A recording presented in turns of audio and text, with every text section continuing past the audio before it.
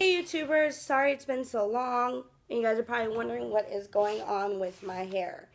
Um, I am transitioning and I think it's been about, next month in April will be a year. So I think I'm about 45 weeks, 46 weeks post relaxer.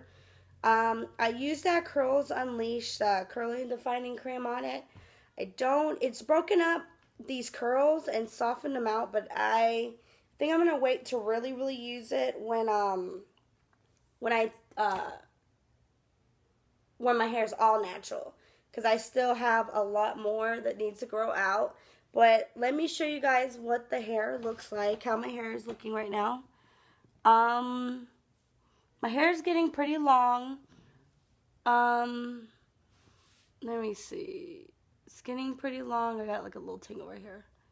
Um, my curl pattern I don't know if you guys can see it, but you guys see kind of where it is, curl pattern. So I'm thinking my curl pattern is like a 3S or a 4S, I'm thinking. But I just kind of want to do an update on it for you.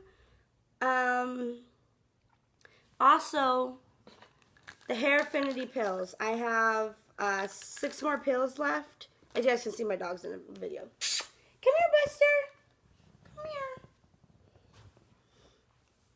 This is Buster. You guys have met him before. Um, his birthday is in the same month as mine. We have we share the same birthday, June 19th. Um, he will be too. Yay.